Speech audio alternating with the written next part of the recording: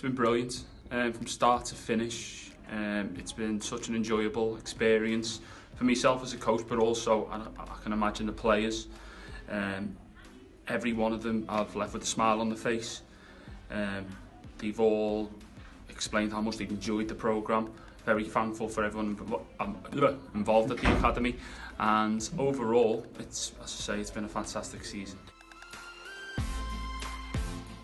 Um, just as we say, it's just as important to conduct yourself off the pitch as well as you do on the pitch.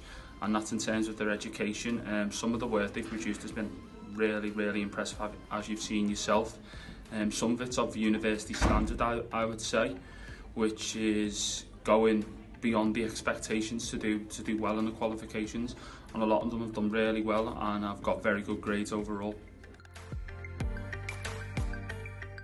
Um, hopefully more of the same. Um, good attitude, um, a willingness to learn, um, good work rate, and obviously we want to see some good footballers as well, um, which we always seem to produce.